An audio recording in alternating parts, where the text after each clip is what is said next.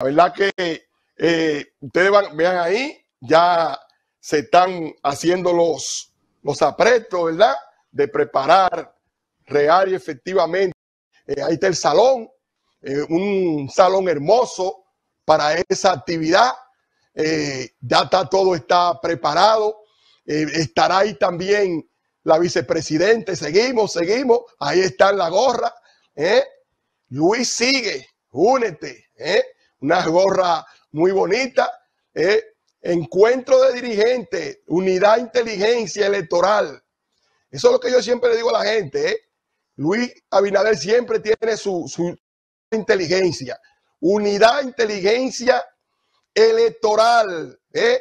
A la cabeza de Margarito Carlos de León, gran conocedor de la política ¿eh? de la República Dominicana. Este sábado 4 de mayo, este sábado 4 de mayo, déjamelo ahí, este sábado 4 de mayo vamos a tener esa importantísima actividad. Ahí, ahí, muchachos, no lo muevan de ahí.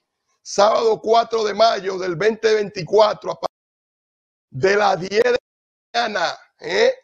consolida el cambio, ¿eh? unidad inteligencia electoral, encuentro de dirigentes. Van muchas personas de Boston, van muchas personas de Pensilvania, de Conérico, van personas de Montreal.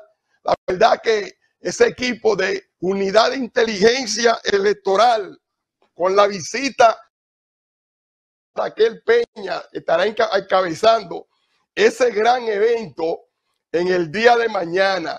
La verdad que nosotros felicitamos al presidente Luis Abinader por el Margarito de León en este eh, encuentro de dirigentes, ¿verdad? Con ese equipo importantísimo, ese equipo importantísimo, unidad, inteligencia electoral. Ay, mi madre, yo trabajé con ese equipo de la unidad de inteligencia y me tocó ir a San Francisco. Electoralmente fueron historias proceso, porque había delegados que se querían vender. Entonces, esa una de inteligencia electoral avisaba a un compañero del que querían brincar la charla será Santo Domingo, la gente no tiene, eh, no tiene principio, eso se ha perdido allí, allí es lo que vale el dinero. Y ese es el objetivo número uno y la movimiento. ¿verdad? De, inteligencia electoral.